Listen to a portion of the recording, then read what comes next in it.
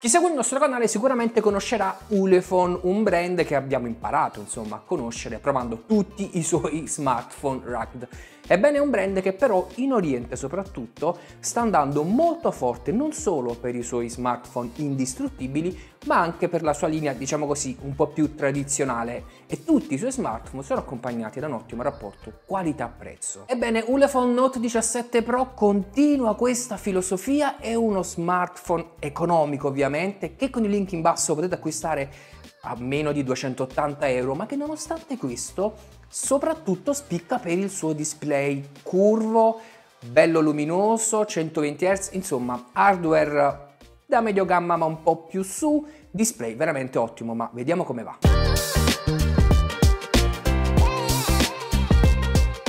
Nuovo Note 17 Pro è come se Ulefone avesse fatto un piccolo passo in avanti rispetto alle generazioni precedenti in quanto a design e materiali. Tutta la parte frontale è protetta da un Gorilla Glass 5 che Curve, che ok non è diciamo il nuovo Gorilla Glass Victus, però riesce a gestire piuttosto bene le impronte digitali. Lo spessore di 9 mm pesa 197 grammi, il che di certo non lo rende tra i più comodi in commercio, soprattutto per un utilizzo con una mano, ma va detto che i pesi sono piuttosto ben bilanciati e poi la curvatura dello schermo rende il grip un pochino più comodo. Posteriormente Ulefone Note 17 Pro ricorda molto le linee di Honor nei suoi smartphone numerici, per esempio un Honor 90 mi viene in mente, è disponibile in due colorazioni. C'è quella nera che abbiamo ricevuto in prova, che è molto più classica, io direi quasi anonima, e poi c'è una colorazione arancione che a me piace molto di più. Ora, nonostante si tratti di uno smartphone economico, va detto che quando lo si impugna eh, si ha la sensazione di utilizzare un dispositivo leggermente più costoso del suo prezzo, insomma 280 euro è un prezzo veramente basso,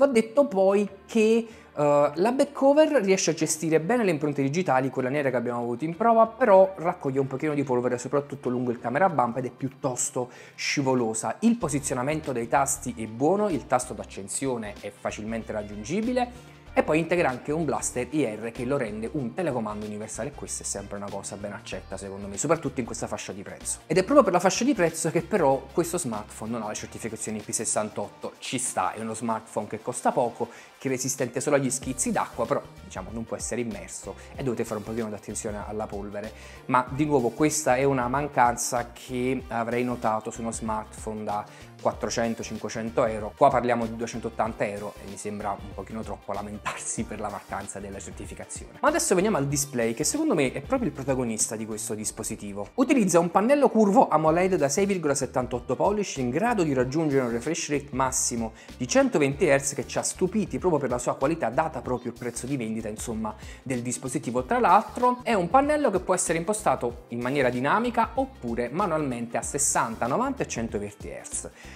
Per evitare tecnicismi gratuiti, che per un dispositivo di questa fascia di prezzo secondo me non è che siano proprio importantissimi, va detto che si tratta di un pannello che la stragrande maggioranza delle persone riterrà più che sufficiente per le proprie necessità. I colori sono ben vivaci, il contrasto è buono, i neri sono profondi e poi nelle impostazioni è possibile modificarne proprio la taratura veramente a fondo. Insomma, considerando che stiamo parlando di un prodotto che costa meno di 280 euro, le caratteristiche del pannello in questo Ulefone Note 17 Pro sono davvero notevoli. La densità di pixel per pollice è di 388 ppi, però l'unica nota stonata secondo me di questo uh, pannello sta nel sensore di luminosità per due motivi. Il primo è che quando si imposta la luminosità automatica tende a essere molto conservativo, quindi abbassa tanto la luminosità e poi mi è capitato utilizzandolo così uh, giornalmente che ad un certo punto la luminosità si abbassasse di colpo per poi rialzarsi. Questo è sicuramente un problema relativo al software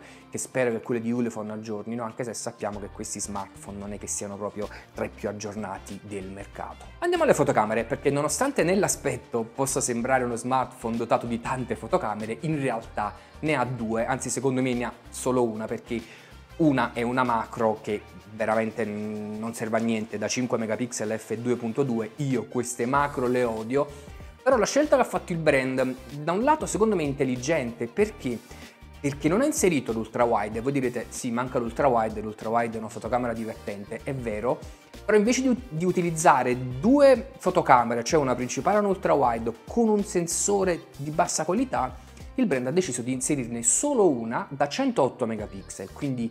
un'unica fotocamera che però, come vedremo, alla fine in base al prezzo si comporta molto bene. Il sensore, come dicevo, è 108 megapixel f1.89, purtroppo non è stabilizzato otticamente, però utilizza la tecnologia Smart ISO e lavora con il pixel dimming 9 a 1. Ora, che non sia un camera phone è una cosa chiara perché stiamo comunque parlando di un dispositivo che costa 280 euro, però va detto che paragonando la qualità fotografica eh, del suo sensore al prezzo di vendita, devo dire che effettivamente mi ha quasi stupito questo dispositivo perché in condizioni di buona luminosità le immagini sono buone, non estremamente luminose, è vero, però i colori sono naturali, il contrasto è buono, c'è anche una buona gamma dinamica Vedete nei sample che vi sto facendo vedere, vedete anche delle foto zoomate, non ha lo zoom ottico, quello che vedete è uno zoom digitale che però grazie al sensore da 108 megapixel riesce comunque a garantire delle immagini di buona qualità.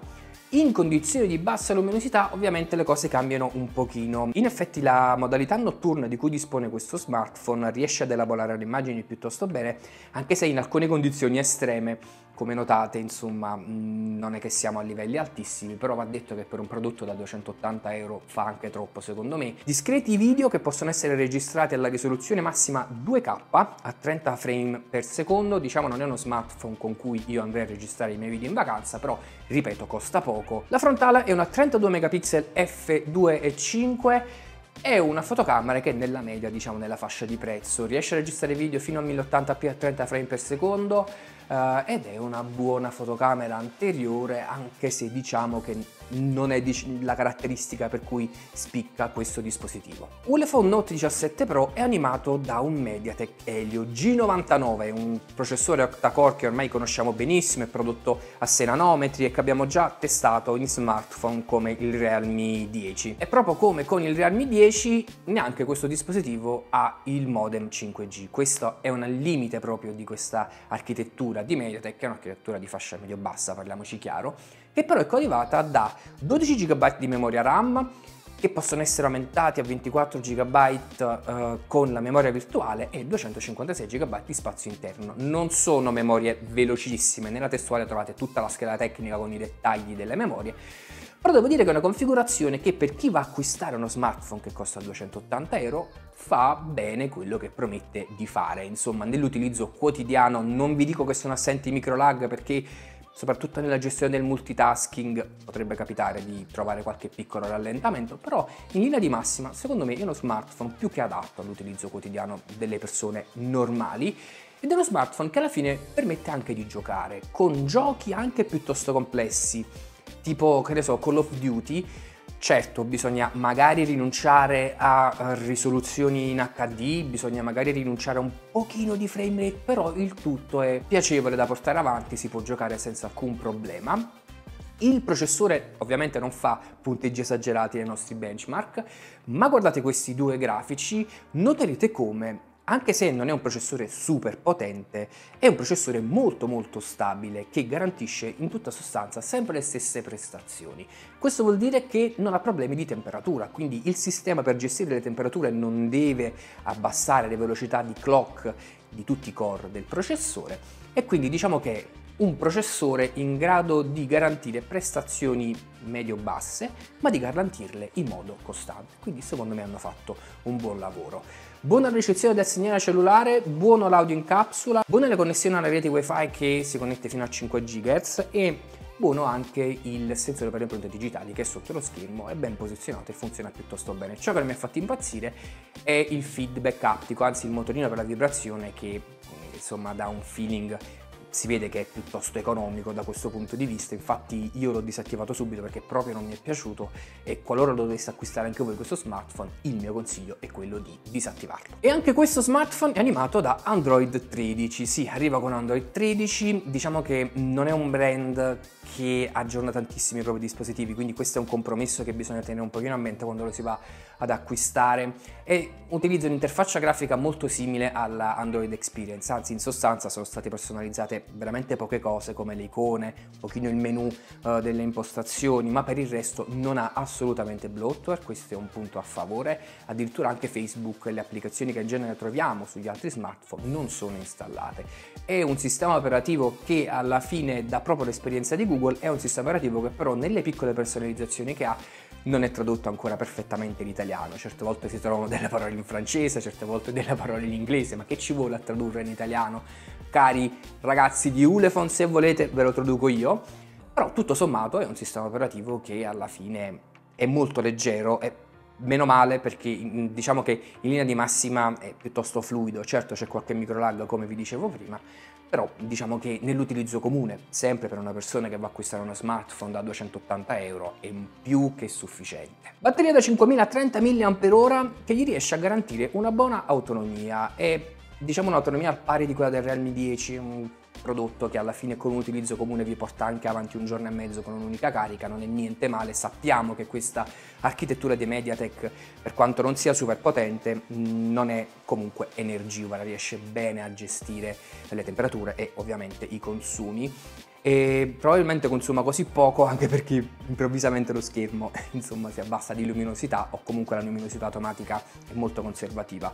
Buona notizia, Insomma, buona notizia, ricarica veloce. A 33 watt ed è sempre comunque piacevole vedere queste ricariche che alla fine impiegano meno tempo per riempire la batteria di energia anche in smartphone che effettivamente sono molto economici. Il prezzo di vendita dell'Ulefone Note 17 Pro è di 319 euro ma in basso trovate un link grazie al quale potete acquistarlo su Amazon con uno sconto di 40 euro da attivare direttamente nella pagina del prodotto che fa scendere la cifra a 279 euro ed è una cifra niente male per un prodotto che in fin dei conti potrebbe risultare più adatto per la stragrande maggioranza delle persone. Ok, non stiamo parlando di un dispositivo che si contraddistingue per le prestazioni o per la fotocamera, nonostante abbia un sensore da 108 megapixel, è l'unico sensore in realtà che si può utilizzare con le foto, però per il suo prezzo di vendita i compromessi secondo me sono più che giusti. Poi diciamolo, ha uno dei migliori display in circolazione per la sua fascia di prezzo. Ora, non so se a voi la mancanza dell'ultra wide può pesare, secondo me la scelta che ha fatto il brand, ripeto, è piuttosto furba, ha detto io metto un sensore che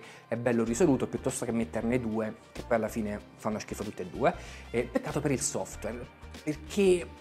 va bene l'Android Experience, io oh, sinceramente apprezzo quando questi produttori di smartphone economici dicono visto che non abbiamo budget da destinare alla personalizzazione del sistema operativo, non lo personalizziamo, diamo un Android Experience e quindi ci leviamo nei mezzi paccheri come si dice a Napoli, però quantomeno qualche attenzione nella traduzione nelle altre lingue poteva, mm, insomma, sarebbe stata buona. Detto questo ragazzi, questo è quanto. Fatemi sapere cosa ne pensate nei commenti, se vi va iscrivetevi al canale, attivate la campanella. Io sono Dario Calende e ci vediamo al prossimo video su Jits.